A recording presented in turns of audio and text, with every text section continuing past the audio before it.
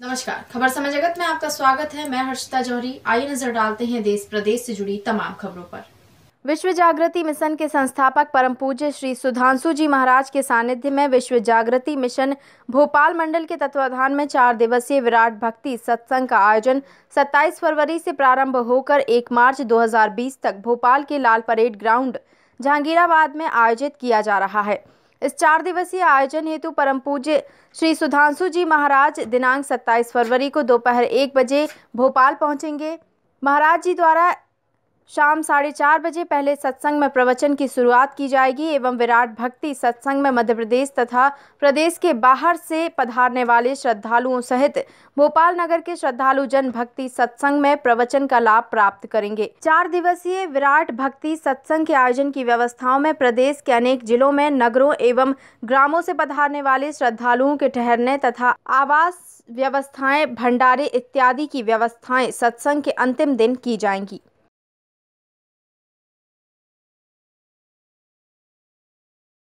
विशेष मंत्र, गुरु मंत्र दीक्षा साधना शिविर है। साथ ही एक फरवरी एक मार्च को यहाँ पर महाराज जी नए दीक्षार्थियों को दीक्षा भी देंगे, जो निशुल्क है।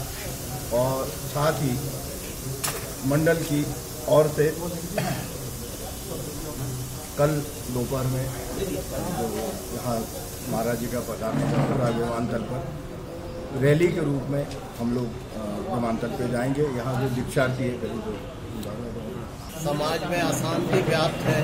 भौतिकतावादी युग में व्यक्ति के पास में धन, सुविधाएँ तो काफ़ी बढ़ गई हैं, मगर मन काफ़ी बेचैन है। व्यक्ति बहुत परेशान है। ऐसी परेशानी में व्यक्ति शांति की खोज में जाता है। विश्व जागृति मिशन एक मानवता को समर्पित संस्था के संस्थापक परम पूज्य, प्रातः स्मरणीय सुधांशु जी महाराज ने मानवता की सेवा के लिए बीड़ा उठाया है और देश विदेश जाकर मानव सेवा के लिए जो है कार्य कर, किए जाते हैं। बच्चों को संस्कारित किए जाते हैं। संस्कृत महाविद्यालय बनाए गए हैं। गुरुकुल बनाए गए हैं। गौशालाएँ हैं जो संचालित होती हैं। एक मानवता को समर्पित, सनातन धर्म की रक्षा के लिए गुरुदेव आज देश विदेश जाकर ये कार्य किया। खबर समय जगत के लिए संवाददाता शक्ति भारती भोपाल।